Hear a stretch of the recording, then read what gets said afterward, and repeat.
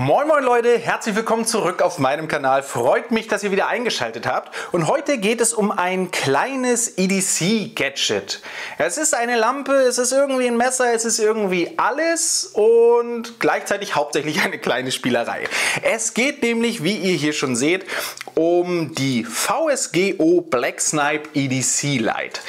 Ähm, ja, das Ganze kommt in diesem Karton hier, sehr unaufgeregt und ein kleines Kabel ist auch dabei. Aber darum geht es. Was soll das jetzt sein? Ich persönlich bin ja auch hobbymäßig so ein bisschen in der Fotografie unterwegs und sowas und mir war VSGO durchaus ein Begriff, nämlich in Bezug auf äh, Kamerataschen, Rucksäcke und so Zubehörkram. Dass die jetzt sowas hier haben, wusste ich aber nicht. Ich hatte da ehrlicherweise aber auch lange nichts mehr von denen gesehen. Nun wurde ich aber angeschrieben und gefragt, ob ich das mal testen will. Dementsprechend, kurzer Side-Fact, das hier ist ganz offiziell Werbung. Äh, ich habe das hier kostenlos zur Verfügung gestellt bekommen, aber wie immer immer versuche ich natürlich ganz ehrlich meine Meinung dazu kundzutun und vielleicht hat das für den einen oder anderen hier von euch Mehrwert. Ja, was äh, will das? Was soll das jetzt sein? Es ist ein kleines äh, Multitool sozusagen. In erster Linie ist es nämlich eine Taschenlampe.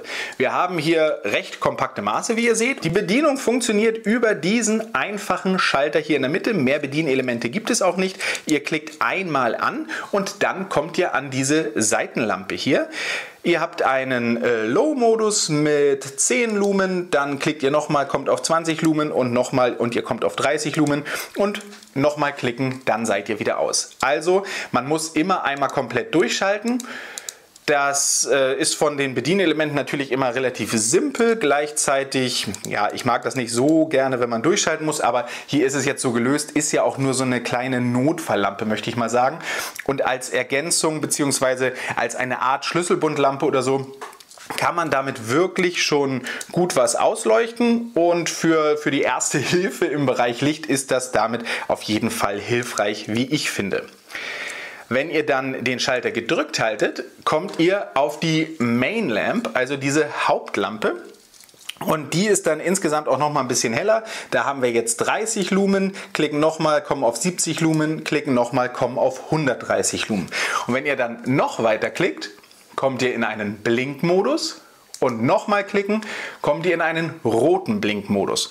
Den finde ich eigentlich fast mit am interessantesten. Äh, allerdings ist er, ist es, die rote Lampe ist wirklich nur blinkend und als letztes in der Reihe dann zu erreichen. Und dann ist es auch hier, ihr schaltet immer der Reihe nach durch und müsst immer durch jeden Modus. Wieder gedrückt halten und das Ganze ist aus. Ja, damit hat man jetzt die Taschenlampenfunktion schon mal abgedeckt. Zusätzlich wurde dann hier aber noch so eine kleine, ja, Klinge ist schon zu viel gesagt, aber so ein Paketöffner äh, mit angebaut.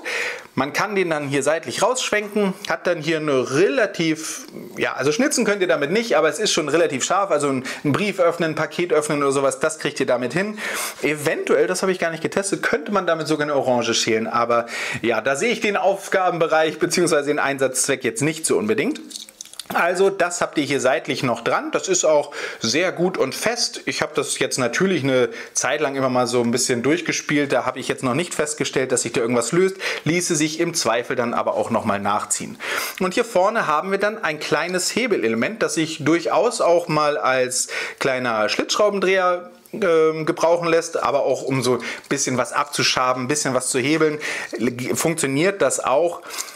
Sonderlich viel Hebel Hebelkraft sollte man damit jetzt aber natürlich nicht aufwenden.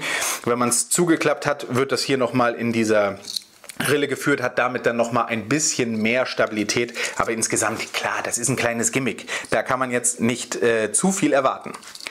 Das war es grundsätzlich an den Funktionen. Wir haben dann hier noch die Möglichkeit, einen, ähm, ja, das irgendwie an einem Benzel oder sowas anzubringen oder vielleicht sogar da einen Schlüssel dran anzubringen. Dazu komme ich gleich, denn wahrscheinlich mit der Hauptclou ist die Befestigung.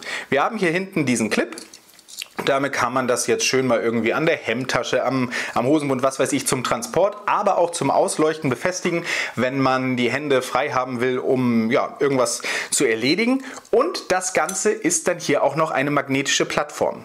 Und das hält wirklich, wirklich gut und stramm. Also Das ist gut gemacht, finde ich.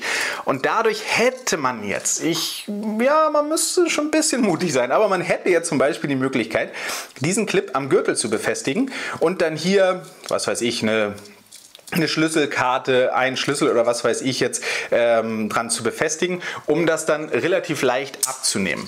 Das könnte ich mir vorstellen, weil wie gesagt, der ist wirklich stramm und wirklich gut. Das wäre so eine der Möglichkeiten. Gleichzeitig hat man mit dem Magnet aber natürlich auch die Option, das irgendwo anzubringen, um sich damit dann wieder die Arbeitsfläche auszuleuchten. Oder was auch ganz cool geht, dass man, wenn man jetzt zum Beispiel keine Hemdtasche hat, aber mal kurz die Hände frei braucht, dass man das Ding unter das T-Shirt schiebt und die Lampe dann von vorne draufsetzt und das so einfach an seinem T-Shirt zum Beispiel befestigt. Auch das hält gut und so hat man dann auf der Brust wie Iron Man da eine kleine Leuchte raus. Ja, das war es im Prinzip. Ich finde, das ist eine coole, interessante kleine Lampe, aber für mich ist es auch in erster Linie einfach ein Gimmick. Es ist aus meiner Sicht eine Spielerei, ein cooles kleines Teil, vielleicht auch ein Geschenk oder so. Also ich finde das irgendwie schon lustig und auf jeden Fall gut gemacht. Das kommt wertig daher. Dem traue ich schon äh, durchaus ein bisschen was zu. Ich habe das jetzt bei mir an meinem Gravelbike tatsächlich hauptsächlich hinten in der Tasche so als Notlicht. Ich habe natürlich auch richtige Fahrradlampen dabei, aber wenn ich jetzt eigentlich plane, wirklich nur tagsüber unterwegs zu sein, dann nehme ich die nicht immer mit. Und das dann hier so als Notlicht dabei zu haben, finde ich ganz cool.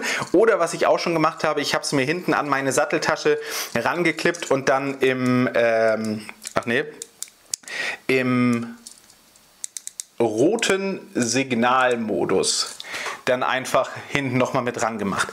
Da wünsche ich mir, dass man da irgendwie leichter und schneller hinkäme, weil das so als kleine Signallampe finde ich eigentlich viel interessanter. Damit richtig was auszuleuchten länger macht man dann eh nicht. Der Akku hat natürlich auch nicht die größte Kapazität. Der wird hier übrigens über USB-C dann aufgeladen. Ähm, aber ja, so als Signalleuchte, um mir das irgendwo ranzuklippen, um nachts, wenn ich an der Straße fahre oder sowas, dann mal besser gesehen zu werden, temporär einfach, um auf mich aufmerksam zu machen, fände ich das eigentlich sehr cool. Würde mir dafür aber wünschen, dass man schneller in diesen Modus kommt, dass das ein bisschen leichter sich bedienen ließe. Und ja, auch zusammen benutzen kann man sie jetzt nicht. Wenn ich die jetzt einschalte und dann gedrückt halte, dann passiert gar nichts. Also die Main Lamp geht damit nicht an. Ich schalte dann einfach nämlich nur der Reihe nach durch. Muss diese erst ausschalten, um dann diese anwählen zu können. Hm, ich würde mir die Bedienung da ein bisschen, bisschen ausgefeilter wünschen. Ansonsten coole kleine Lampe. Muss man wissen, ob es einem das Geld wert ist. Wie gesagt, als Gadget, als kleines Geschenk für irgendeinen EDC-Junkie oder sowas kann ich mir das auf jeden Fall vorstellen. Und für mich jetzt so als Backup, als Notfalllampe finde ich das auf jeden Fall cool. Interessant gelöst, dass man hier noch so ein kleines Seitenwerkzeug hat. Ja, Mehr ist es dann aber letztlich nicht.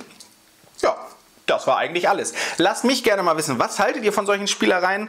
Habt ihr, werdet ihr da auch immer mal schwach? Greift ihr dazu? Nutzt ihr sowas vielleicht tatsächlich? Oder seht ihr jetzt bei dieser Lampe auch irgendeinen Sinn und Zweck, der mir jetzt noch gar nicht eingefallen ist? Dann lasst mich das sehr gerne in den Kommentaren wissen. Da lerne ich ja gerne dazu und ja, ich übersehe auch immer mal was. Vielleicht gibt es da noch den einen oder anderen Zweck, wo die sich als noch nützlicher erweist. Das soll es gewesen sein. Vielen Dank fürs Einschalten und wenn ihr bis hierhin durchgehalten habt, lasst dem Video gerne einen Daumen nach oben da und abonniert auch den Kanal, wenn ihr mögt. Das würde den Kanal nämlich sehr unterstützen, mich freuen und ist für euch kostenlos und ihr werdet über jedes kommende Video informiert. Wenn ihr mögt, sehen wir uns in einem der nächsten Videos wieder und nun war es auch genug. Bleibt gesund oder werdet es, wenn ihr es nicht seid. Bis zum nächsten Mal. Tschüssing!